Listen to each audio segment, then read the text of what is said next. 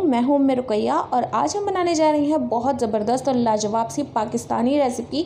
ये है चिकन कटाकट जैसे इसका नाम यूनिक है, वैसे इसका टेस्ट भी बहुत ज़बरदस्त है। तो जल्दी से ट्राई कीजिए आप इस रेसिपी को। कमेंट सेक्शन में बताइए चैनल को लाइक कीजिए वीडियो को लाइक कीजिए और सब्सक्राइब ज़रूर कर लीजिए। यहाँ पर मैंने चार लेग ली है, डेढ़ सौ ग्राम कीमा, ढाई सौ ग्राम कलेजी और दो सौ ग्राम बोनलेस चिकन लिया है। ये देखिए, चार चीज़ ली है मैंने इसके अंदर।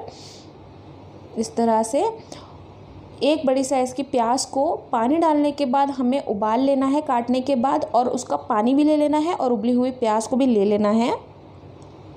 तीन मीडियम साइज़ के टमाटर को काट लिया है और उसका छिलका भी निकाल दिया है।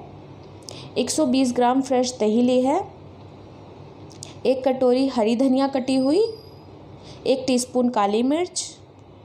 एक टेबल स्पून कुटी हुई लाल मिर्च। एक टीस्पून नमक। एक टेबल स्पून कुटी हुई साबुत धनिया, पाँच हरी मिर्च बारीक कटी हुई, एक इंच अदरक का टुकड़ा के लच्छा, और यहाँ हमने लहसुन का पानी लिया है।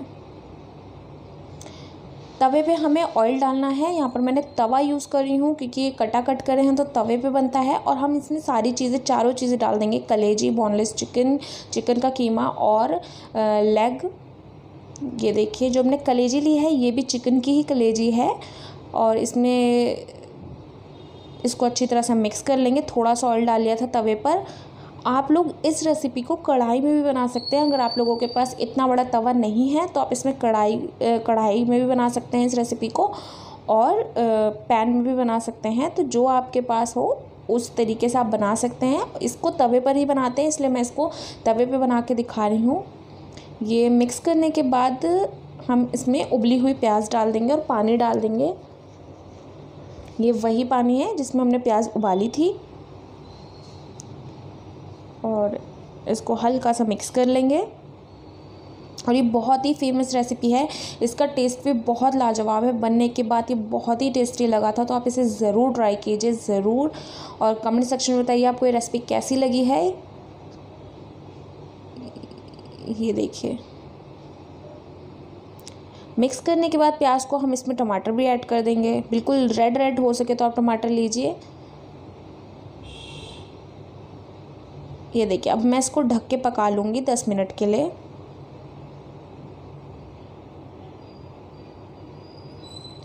ये देखिए, बहुत अच्छी तरह से टमाटर बिल्कुल मैश हो चुका है, अच्छी तरह से भुन चुकी है। फिर मैंने इसमें लहसुन का पानी डाल दिया, कुटी हुई लाल मिर्च डाल दी है और ये काली मिर्च डाल दी, नमक डाल दिया, कुटी हुई हरी धनिया साबुत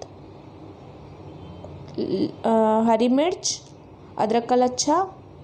ये सारी चीज़ें डालने के बाद मैं इसको अच्छी तरह से मिक्स कर लूँगी। ये देखिए। ये टमाटर मैंने रेड लिया था तो इस वजह से ये रेड रेड सा दिख रहा था, बिना मसाला डाले, और तवे पर बनने से भी होता है, इसके अंदर ये ऐसा दिखता है। नॉन नॉन स्टिक तवा नहीं लिया मैंने। अब मैं इसे मसाले को भी अच्छी तरह से मिक्स कर लूँगी। देख लीजिए, लेग बिल्कुल पक चुकी है अच्छी तरह से। मसाला अच्छी तरह से मिक्स करने के बाद दही डाल देंगे इसमें।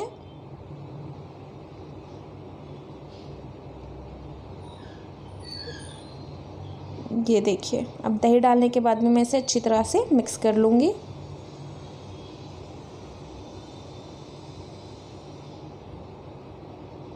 और इसका टेस्ट इतना लाजवाब, इतना लजीज होता है।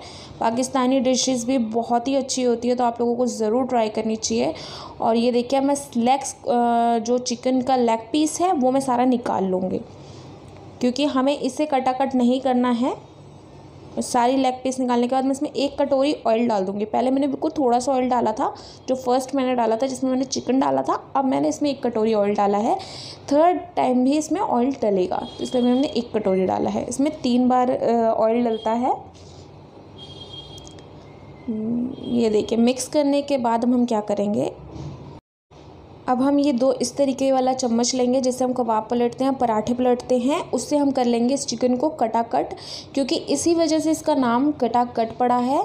और मैं आप लोगों को वॉइस सुनाऊँगी, देखिए कितने कटा कट वाली आवाज़ आएगी।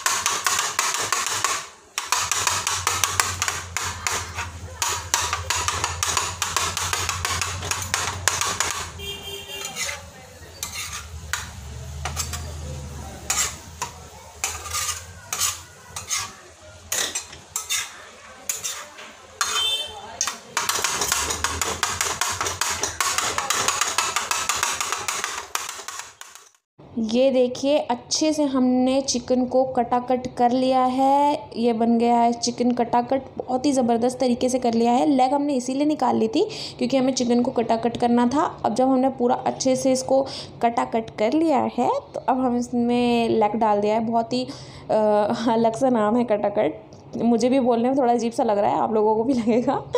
और हमने इसमें अब थोड़ा सा ऑयल डाल दिया है। ये देखिए। जो ऑयल ख़त्म हो गया था तुम तीन टाइम इसमें ऑयल डालते हैं।